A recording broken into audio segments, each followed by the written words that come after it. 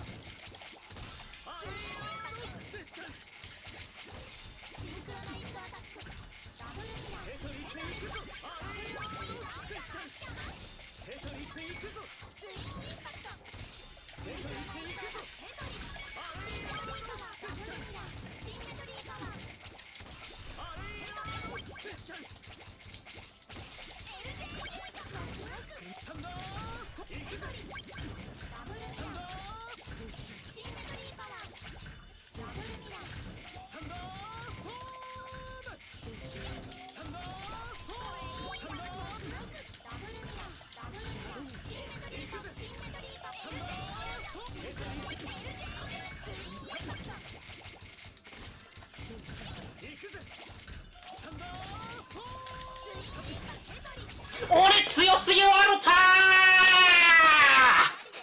なんだ今の最後の耐えはさあしっかりと超絶大逆転勝利をもぎ取っていけあー50対38で勝っていった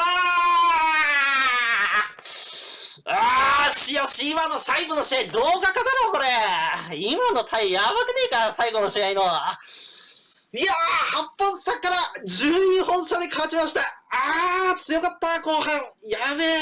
これは、いや、過去最高の強さだったかもな、後半は。後半に関して言えば。